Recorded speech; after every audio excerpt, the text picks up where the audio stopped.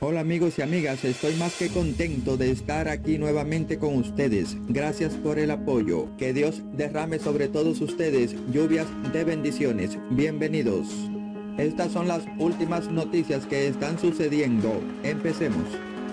Esta vez el gobierno venezolano se metió en la boca del lobo. Tienen los ojos sobre ellos y no lo quieren dejar escapar. Estados Unidos publicó un nuevo reporte sobre los derechos humanos en Venezuela poniendo así el foco en las detenciones, las desapariciones y las torturas ejercidas por el régimen corrupto de Nicolás Maduro Moros. Al parecer, el nuevo gobierno de Estados Unidos seguirá con la misma política que el anterior, siendo eso un golpe bajo para el dictador venezolano. El Departamento de Estado dirigido por el mismo que llamó a Maduro como un brutal dictador, Anthony Blinken, emitió un informe en el que se expuso el extenso esquema represivo y de persecución del régimen chavista durante el año 2020. Bueno familia, así están las cosas en el país suramericano. También se están denunciando la presencia de agentes cubanos al servicio de la Fuerza de Seguridad de la dictadura.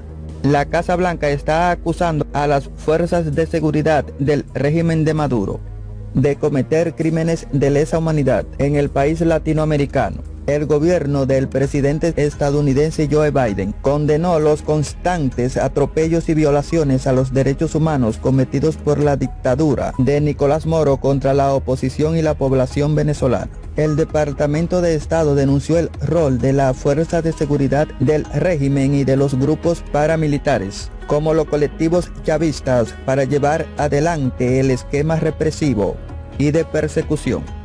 La ONU ya tiene un saco lleno de pruebas en contra del chavismo. Solo está faltando ponerse en acción y hacer algunos arrestos. Según un informe de la ONU, había motivos razonables para creer que las autoridades gubernamentales y las fuerzas de seguridad habían cometido crímenes de lesa humanidad, señaló el Departamento de Estado en un reporte especial. Bueno, esperemos a ver qué pasa en este 2021 con el régimen de Nicolás Maduro Moros. La Casa Blanca está más que decidida de sacarlo del poder, pateándolo así del Palacio de Miraflores. Según el documento, 25 ONG pidieron a la comunidad internacional formar medidas ante los combates en la frontera entre Venezuela y Colombia.